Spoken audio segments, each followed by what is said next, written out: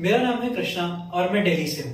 मैं currently Mumbai film academy का student हूँ और इससे पहले मैंने बीएससी एनिमेशन और वीएफएक्स में ग्रेजुएशन की है चंडीगढ़ यूनिवर्सिटी से। बट ग्रेजुएशन करने के बाद मुझे इस फ़िल्म इंडस्ट्री के बारे में और भी बहुत जानना था और मुझे अपनी नॉलेज को बहुत और एक्सटेंड करना था। एंड और बहुत टाइम तक मैं बहुत ही डिप्रेस था क्योंकि मेरे को कोई ऐसा इंस्टीट्यूट या एकेडमी नहीं मिल रहा था जो कि मेरे को इस फ़ील्ड में मेरा नॉलेज एक्सटेंसिवली आगे बढ़ा सके और जहाँ पे मुझे करेक्ट यूटिलाइज मिल सके। बट उसके, मेरे को मुंबई फ़िल्म अकेडमी के बारे में पता चला, जो कि इंडिया का one of the top film academies में से एक है। आई जब यहाँ पे आया, मैं इम्प्रेस था बिकॉज़ यहाँ के टीचर्स यहाँ से फैकल्टीज वगैरह बहुत अच्छे हैं, इनके यहाँ के वे ऑफ़ टीचिंग यहाँ के एक्सेस का इक्विपमेंट का इंफ्रास्ट्रक्चर से लेके सब कुछ एक क्लास है। अब मैं यहाँ पे फैकल्टीज की बात करूँ तो मैं सिनेमाटोग्राफी से स्टार्ट करूँगा, क्योंकि मैं सिनेमाटोग्राफी राइटिंग का यहाँ स्टूडेंट हूँ। और हमारे यहाँ सिनेमाटोग्राफी के फैकल्टी हैं Ajay Tindan sir Now, now the gateway is beginning to shine uniformly, right? Look at the shadow gone. I bring further. Now you will see it has become more uniform. पूरा तीन by तीन का uniform हो गया shadow खत्म जो कि एक एफ़ ग्रेजुएट है और एक 35 इयर्स प्लस ऑफ़ एक्सपीरियंस है उनको इस फ़िल्म इंडस्ट्री में उनका टीचिंग करने का मेथड बहुत ही अलग है बहुत ही यूनिक और बहुत ही इजी टू लर्न है वो हमें सब कुछ सिखाते हैं फ्रॉम कैमरा के एंगल से लेके लाइट्स कैसे सेट करनी, एक सीन को कैसे हमें सीन को कैसे हमें ड्राफ्ट करना है पेपर में ड्राफ्ट करने से लेके उसको एक सीन में शॉट कैसे शूट लेना है, कौन सा कैमरा एंगल हमें कैसे जाएगा तो सीन का असली हमारा इंटेंट बाहर आएगा। ही, उन्होंने ये ही नहीं, एक यूनिक चीज़ जो हमें इस इंस्टीट्यूट में मिली है सिनेमाटोग्राफी सीखते वक्त, मेरे को ये है कि हमें हैंड्स ऑन एक्सपीरियंस दिया गया है रेड ऐसा जैसे बड़े कैमराज में से। जो कि बाहर किसी यूनिवर्सिटीज में दिया नहीं जाता। और इसका एडवांटेज ये रहता है कि हम लोग जब बाहर एकेडमी के बाहर हम लोग जाके इंडस्ट्री में काम करते हैं तो हमें पहले ही नॉलेज होता है कि इतने बड़े कैमरास का हैंडल कैसे करना है, उसके एक्सटेंसिव सेटिंग्स को कैसे संभालना है करेक्ट मेजर कैसे डालना है, कब करेक्ट आईएसओ एक्सपोजर सेटिंग्स कैसे सेट करना है, जो कि हम काफ़ी लोगों को बाहर जाने पे नहीं मिलता। तो मैं समीर गांगुली सर की बात करना चाहूँगा, जो कि हमारे डायरेक्शन के टीचर है, जिन्होंने हमें डायरेक्शन की फ़ील्ड में काफ़ी कुछ सिखाया है। बाकी आप सबकी हम लोग सिर्फ़ हंसे ही।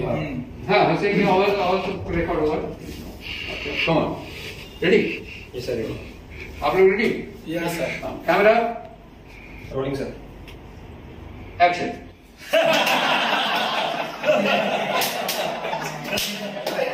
अरे भाई तू कहाँ से लाता है ऐसे जो? अरे तू और एक सुनेगा? हाँ सुनूँगा।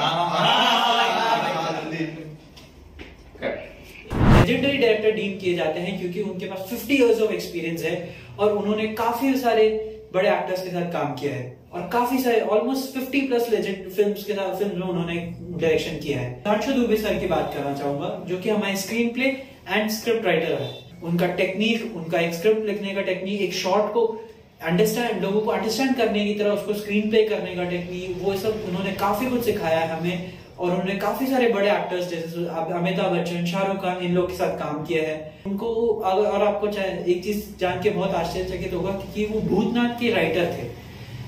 भूतनाथ जो कि एक बहुत बड़ी हिट फ़िल्म थी तो उनके वो राइटर थे। और उनके अंडर पढ़ के मेरे को बहुत अच्छा लगा क्योंकि उनके इतने बड़े उनके साथ काम करके, भूतनाथ हसौडेस भी ने मेरी बहुत ही क्लोज बचपन की मेरी काफ़ी फेवरेट फ़िल्म थी।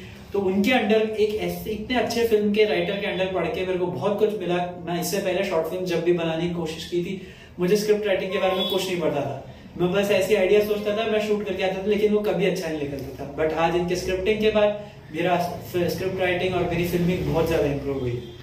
मुंबई फ़िल्म अकेडमी ओवरऑल मेरा चूज़ करने का डिसीज़न मेरे को सबसे बेस्ट लगा। यहाँ के इंफ्रास्ट्रक्चर यहाँ के टीचिंग्स यहाँ के सब्जेक्ट्स यहाँ के वे मेथड ऑफ़ हैंडलिंग स्टूडेंट्स और सबसे बेस्ट है यहाँ के जितने भी स्टूडेंट्स के साथ मैं आज तक मिलकर काम किया। दे हॉल सबके सबके पास इतना अच्छा टीम वर्क है। सब एक दूसरे की हेल्प करते हैं। टीचर्स कभी भी हमें किसी भी चीज़ की तरफ़ से हेल्प करने की उनके पावर मेंबर उन्होंने कभी बैकआउट नहीं किया। एंड बहुत सारा एक्सटेंसिव नॉलेज मिला है। बहुत डिटेल मेरे को हमें नॉलेज मिला है। प्लेसमेंट्स की बात होती है जो कि हर स्टूडेंट का एक इंस्टीट्यूट में आने, आते वक्त सबसे बड़ा क्वेश्चन होता है। As far as Mumbai film academy की बात चलती है प्लेसमेंट्स का कोई फ़िक्र नहीं बिकॉज़ मुंबई फ़िल्म अकेडमी तुम्हें हंड्रेड परसेंट प्लेसमेंट असिस्टेंस देती है एंड उसका ऑलमोस्ट फिफ्टीन हंड्रेड से ज़्यादा स्टूडियोज में कनेक्शन है।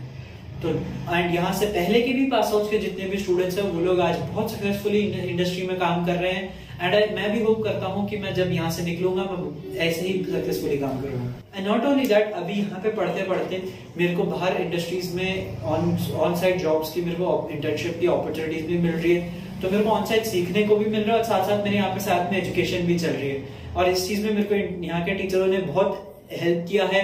कि मैं अपना वहाँ का टाइमिंग भी मैनेज कर सकता हूँ और मैं आपके क्लासेस में मिस नहीं कर सकता एंड मेरे मुंबई फ़िल्म अकेडमी में आके मेरा इस इस फ़ील्ड में आके मुझे बढ़ने का अपॉर्चुनिटी देने के लिए मेरे को, मेरे पेरेंट्स को very much thank you they have given me extensive support उन्होंने कभी कभी भी मेरे इस डिसीज़न के साथ, के अगेंस्ट नहीं खड़े उन्होंने फुल सपोर्ट दिया।